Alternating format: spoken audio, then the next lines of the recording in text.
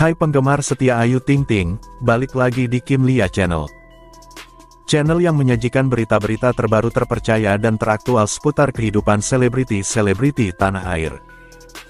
Sebelum nonton video ini, jangan lupa untuk like, comment, share, and subscribe, agar tidak ketinggalan berita-berita terbarunya. Dan jangan lupa juga untuk tonton video ini sampai akhir, agar tidak terjadi kesalahpahaman. Kini lebih dikenal sebagai seorang komedian dan presenter ketimbang penyanyi dangdut, Ayu Ting Ting akhirnya jawab isu pensiun dari dunia musik. Selama beberapa tahun belakangan hampir tak pernah lagi merilis lagu baru, akhirnya Ayu Ting Ting berikan isyarat bagaimana kelanjutan karirnya sebagai penyanyi dangdut. Hal ini terlihat melalui unggahan di akun Instagram sang biduan at Ayu Ting Ting 92 Sabtu, tanggal 21 September tahun 2024. Tak sedikit komentar fans yang menanyakan soal karir Ayu sebagai penyanyi dangdut. Seolah menjawab keinginan para fans, melalui media sosialnya Ayu mengabarkan segera mengeluarkan lagu baru dalam waktu dekat.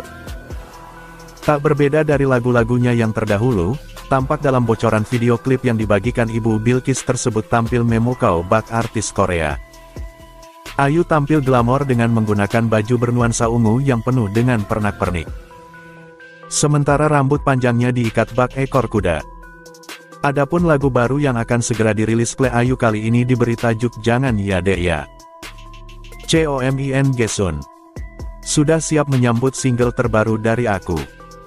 Tagar Jangan Ya Dek sudah bisa kalian presave sekarang di at Spotify siapa nih yang udah gak sabar. Kita tungguin bareng-bareng ya. 27 jam 9 menit 24 detik, terang Ayu. Dukungan pun ramai diberikan kepada Ibu Bilkis tersebut mulai dari para sahabat hingga penggemar setia. Karya berupa lagu baru Ayu ini pun secara langsung menepis isu bahwa dirinya memutuskan berhenti menjadi penyanyi lantaran sudah disibukkan dengan pekerjaannya sebagai presenter dan komedian. Beberapa waktu lalu tiba-tiba penyanyi dangdut Ayu Ting Ting menggandeng Vicky Prasetyo.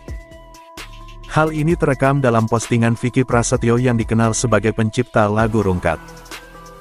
Dalam video yang dipostingnya, Vicky Prasetyo terlihat sedang menyiapkan sebuah kejutan dengan berkolaborasi bareng Ayu Ting Ting. Di lain sisi, pasangan artis Ayu Ting Ting dan Brata Kartasasmita hingga kini masih terus menyita perhatian publik di media sosial.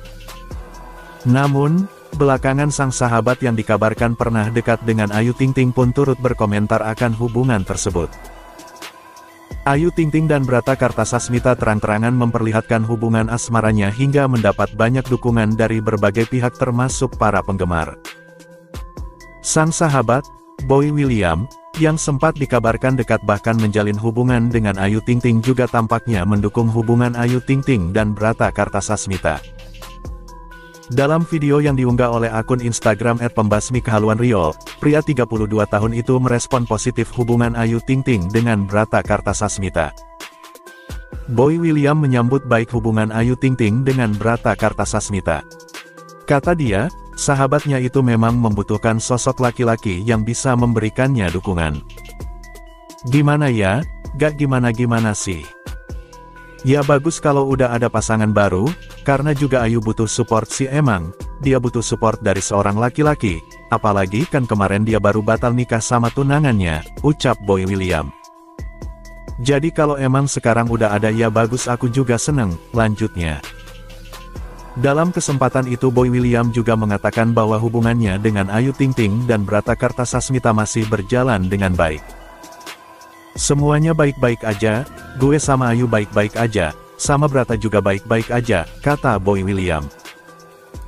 Namun, pernyataan Boy William yang menyebut Ayu Ting Ting memerlukan sosok pria yang bisa memberikan support tersebut malah dianggap ambigu oleh beberapa netizen. Hingga netizen pun langsung memberikan beragam responnya dalam kolom komentar. Ada yang mengatakan bahwa pernyataan Boy William seolah membuktikan bila saat masih dekat dengan Boy William dirinya tak pernah memberikan dukungan dan tak pernah serius dengan Ayu Ting Ting. Berarti kemarin gak disupport. Berarti cuma pansos doang ya, cuit Etianti.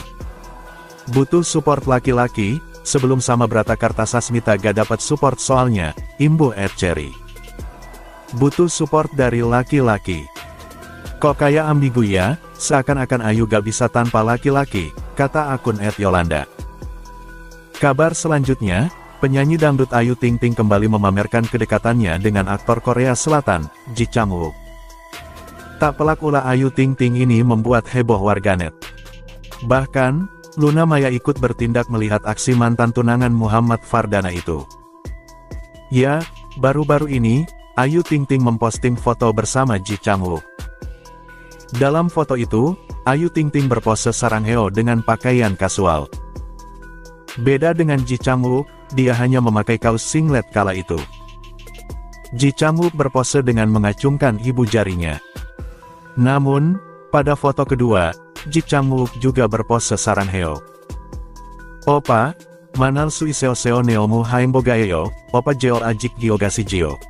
Pali dasi oseyo uli akeong jicamuk opa nelgeongang haseyo, tulis Ayu Ting Ting.